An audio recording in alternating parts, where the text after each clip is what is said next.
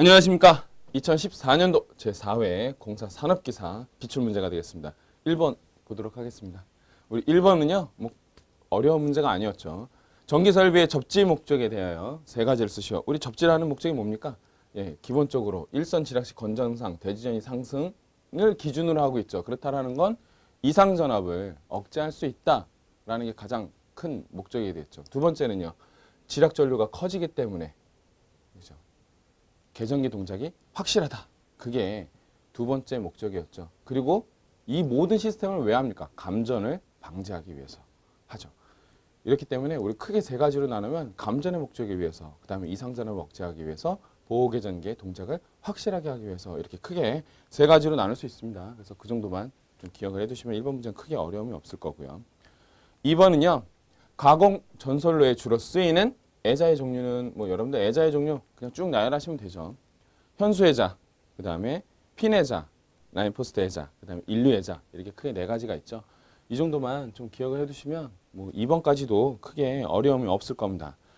문제 3번이고요. 현장에 포설된 CNCV 케이블이 받는 여러 가지의 외적 요인 중 케이블에 열활시키는 요인으로는 전기적 요인, 열적 요인, 화학적 요인, 기계적인 요인, 생물적인 요인으로 분류가 있다.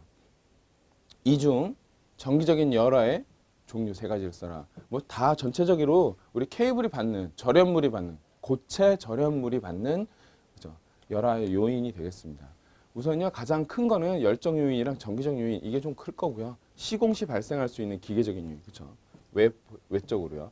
그다음에 그게 우리 직매식 돼 있거나 이럴 경우에 화학적으로 생물적으로 좀 문제가 있습니다. 그 중에서 가장 큰 건 역시 열적 요인이랑 전기적 요인이죠. 그 중에서 전기적 요인을 물어봤는데 우리 케이블 그죠? 우리 케이블이 있고 절연물이 있습니다. 뭐 여기서 전계 E가 쭉 이렇게 형성이 된다고 보면 이쪽에 void 우리 공기라고 얘기를 하죠. 이러한 void에 의해서 부분 방전이 일어납니다. 그게 첫 번째 요인이 전기적인 요인이고요. 이 부분 방전이 일어나면 여기 요 주위에 있는 고체 절연물이 금이 가기 시작해요. 이렇게. 네, 금이 가기 시작합니다. 이거를 우리 전체적으로 트리 현상이라고 얘기합니다. 나무처럼 가지처럼 뻗어나간다 해서 그래서 이 부분 방전에 의해서 예, 전기적인 트리가 발생되죠. 또 반대로 밖에서도 일어날 수 있습니다. 이렇게 안쪽으로.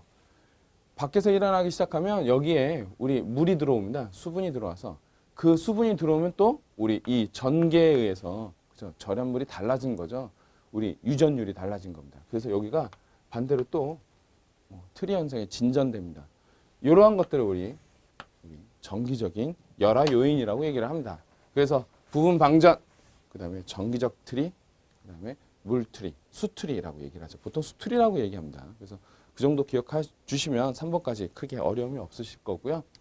다음은 송전계통의 변압기 중성점 접지 방식. 뭐 계통의 중성점 접지 방식 여러분들 잘 알고 계- 계실 겁니다. 제일 먼저 직접 접지한다. 직접 접지 방식. 그 다음에 두 번째 거기에 저항이 들어가 있다. 저항 접지 방식. 너무 저항이 임피던스가 무한돼서 아예 접지를 하지 않는다. 비접지 방식. 그리고 하나 더 소리액턴스 접지 방식이 있죠. 이렇게 크게 네 가지가 있고요. 다음 5번입니다. 연접 인입선의 정의를 써라 이거죠. 우리 연접 인입선의 정의 인입구 접속점에서 다른 지지물을 거치지 아니하고 그죠? 아니하고 다른 수영가로 가는 입구로 이르는 전선 이걸 우리가 연접 인입선이라고 얘기하죠. 뭐 우리 용어의 정의 우리 필기 시험 때도 많이 암기하셨던 내용이죠. 연접 인입선의 정의였습니다. 한 수영가에서 수영 장소에서 인입구에서 접속점을 분기해서 다른 지지물을 거치지 아니하고 그래서 다른 수영가의 인입구에 이르는 전선? 연접 인입선이다라는 거 기억을 해두시고요.